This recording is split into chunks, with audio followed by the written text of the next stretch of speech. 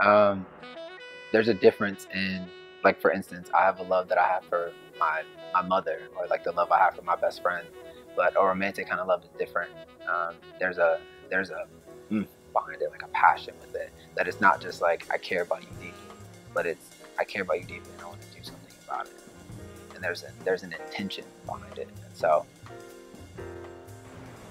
I mean, I don't know if it has a look. I feel like it's definitely, it's definitely more feeling based, and I think that that's something that's really like, that's definitely perplexing. It's because like more of when we say I love you, it's because I love in Christ. Um, well, that's how I feel. I don't know if that's really how he feels, but for me, when I say it, it's a love in Christ. I know for me that whoever it is, I'll know because my intentions will, my game time. Yeah.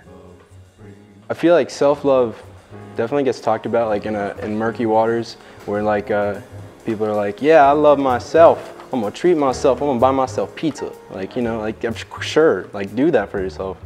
But I think like really like understanding yourself and accepting yourself and loving yourself is a whole new platform that I wouldn't have been pushed to be at if it weren't for that relationship turning sour.